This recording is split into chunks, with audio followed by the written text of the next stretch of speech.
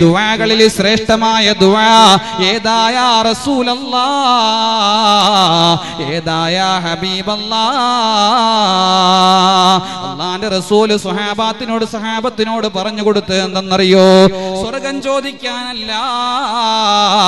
പരിമളം പരത്തുന്ന സ്വർഗീയ സുഗന്ധം ചോദിക്ക സുഹാബ അതല്ല പറഞ്ഞതു.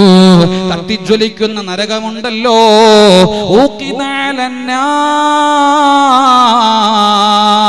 അൽഫസന ആയിരം കൊല്ലം കത്തിക്കുന്ന നരകമുണ്ടല്ലോ. മൂവായിരം കൊല്ലം കൊത്തിച്ചുട്ടു.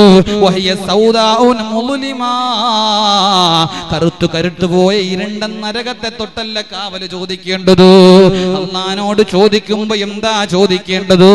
ദുനിയാവിൽ നല്ല ജീവിതമാണോ? നല്ല മരണം വേണമെന്നാണോ? കബറിലെ ശിക്ഷ മാറി നിൽക്കണമെന്നാണോ അല്ല? ഇതൊന്നുമല്ല അള്ളഹാനോട് ചോദിക്കേണ്ടത്. സുഹാബാ സലിൽ ആഫിയാ. ആരോഗ്യത്തെ ചോദിക്കു സുഹാബ. ആരോഗ്യം വേണമെന്ന് ചോദിക്കു സുഹാബ.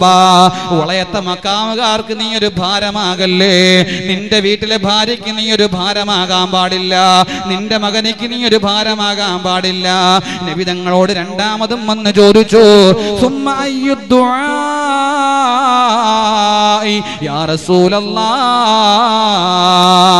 പിന്നെ ഏത് അനുഗ്രഹമാ നബിയെ? പിന്നെ ഏതാണ് നബിയെ ഏറ്റവും വലിയ ദുആ?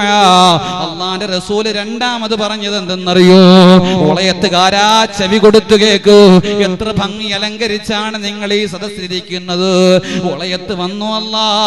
സുഫിയാമ്പ കവിയുടെ വാഴ കേട്ടു അല്ല. എനിക്കൊന്നും മനസ്സിലായില്ലെന്ന് നാളെ റബ്ബിനോട് പോയി പരാതി പറയല്ലേ? വെറുതെ അശ്രദ്ധമായിട്ടിരിക്കല്ലേ ശ്രദ്ധിച്ചു കേൾക്ക് പഠിക്കൂ.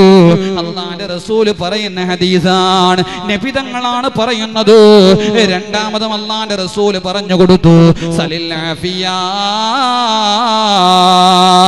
ആരോഗ്യത്തെ ചോദിക്കു സുഹാബ. അതാണ് നമ്മുടെ ജമാഅത്തിന്റെ പ്രസിഡന്റ് പറഞ്ഞത്.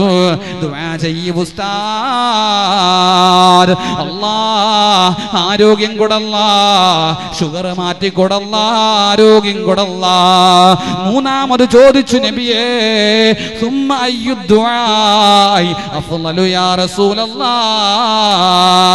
പിന്നെ ഏത് ദുആയാണ്? മൂന്നാമത് നബി തങ്ങൾ പറഞ്ഞു അദ്ദുആഉ അഫ്ളലു യാ സ്വഹാബ സലിൽ ആഫിയാ